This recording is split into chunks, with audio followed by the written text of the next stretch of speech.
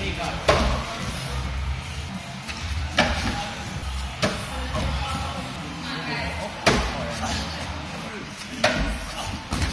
мне уже не интересно на него смотреть.